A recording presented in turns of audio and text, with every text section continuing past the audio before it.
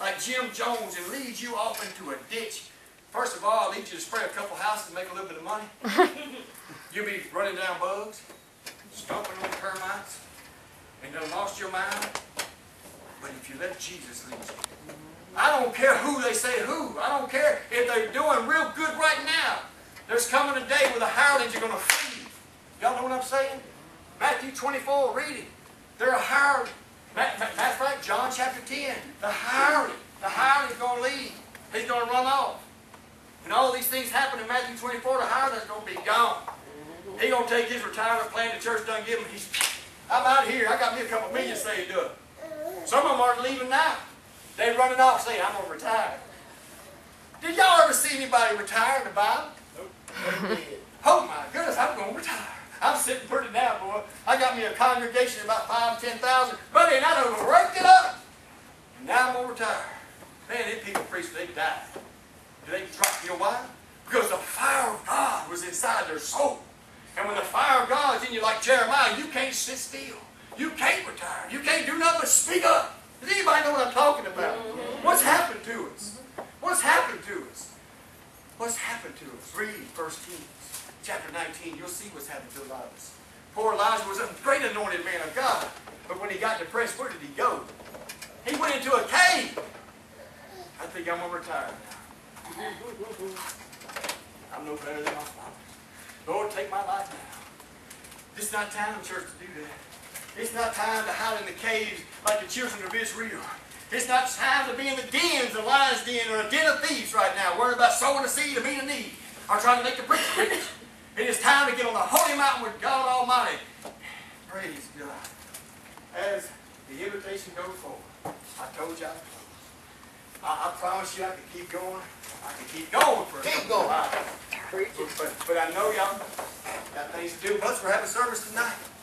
Did y'all know that? Mm-hmm. We have a night service. Oh, yeah. I think Brother Shane DeVille's going to bring us over Uh-oh. tonight.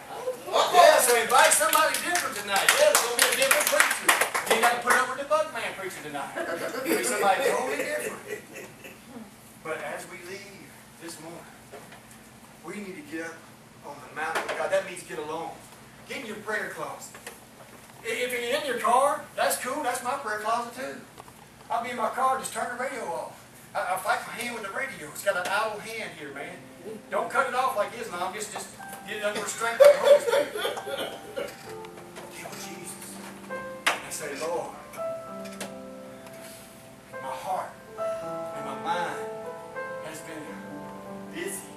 So much technology. You got cell phones. You got text messaging. You got computer games. You got TV. You got new movies coming out. You got a job you got to work all through the week. I know some of us getting older and retired. You got all these things happening in your mind's going, now ain't nothing. This is the most dangerous generation there's ever has been. We look back, we think Nero's day. In the beginning of the church, Nero killed a bunch of Christians. We say, that was a dangerous day. Y'all, we're in a spiritual dangerous day. Our minds are running all the time. We can't hardly hear the voice of God because our minds, our little neurons are going, and we're all busy and tied up and tied up. We don't know which direction to go. And what we do, we run right into a wall. Then we blame it on God. You're supposed to guide my steps. I've been trying to talk to you, Daryl, for two months. You got this going on over here, that going on over there, that going on in my name over there, that going on in your own name over here, that over here you're working with, you're trying to earn a living. Then you get, then you want to pop on the TV at night and sit there and call it relaxing. I've been trying to talk to you. I've been trying to talk to you. Jesus is trying to talk to us, y'all. This is a dangerous, dangerous season we're. Are you going to get on the mountain? Consider your ways and say, Lord, I see the nation going down. The Midianites, the spiritual Midianites, Islam or whatever religion is coming in. I see things are being attacked. The monetary system's going down. You can see the dollar, our debt increases, the dollar goes down. You can work and work and work and spin your wheels while the dollar continues to go down, so your retirement plan is just shot. If you want to think in the natural that way. I'm trying to take spiritual and natural and put them together. You see what I'm saying? People working themselves to death, tied up their mind, saying, I'm going to lay this aside for tomorrow. But Jesus says, you fool, tonight your life may be required of you.